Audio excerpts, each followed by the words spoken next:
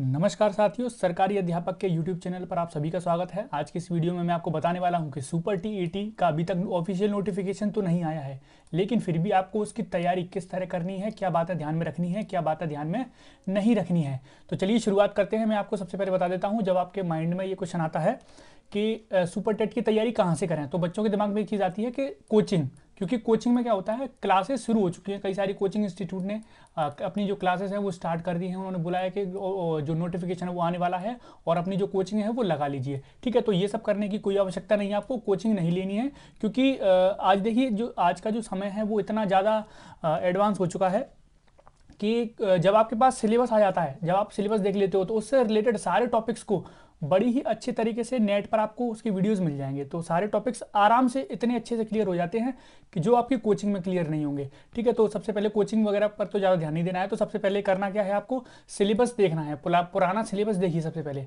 जो पुराना सिलेबस है और पुराने क्वेश्चन पेपर हैं, उसमें किस टॉपिक से ज़्यादा कुछ प्रश्न आए हैं, किस टॉपिक से कितने प्रश्न आए हैं और किस विषय से कितने प्रश्न पूछ गए हैं, इन सबको पहले देखिए। आपको गूगल पर पर मिल जाएगा।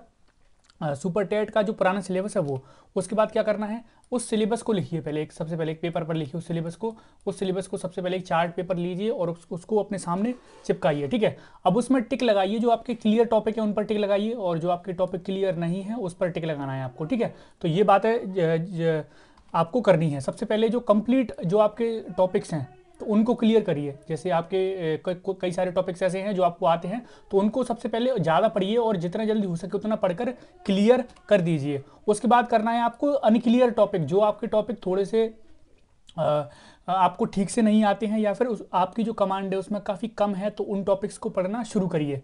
उन टॉपिक को पढ़ना शुरू करिए और फिर आपको बात करना है थोड़ा सा इंतज़ार करिए। 2020 जो सुपर टेट है उसका नोटिफिकेशन आने ही वाला है क्योंकि आपने देखा होगा जो उनहत्तर हज़ार शिक्षक भर्ती थी, उसका जो परिणाम है वो उसने कोर्ट ने बोला है कि 45 दिन के अंदर अंदर इसको क्लियर करो, क्योंकि अब ये 45 दिन के अंदर अंदर क्लियर हो जाएगी, उसके बाद क्या होगा?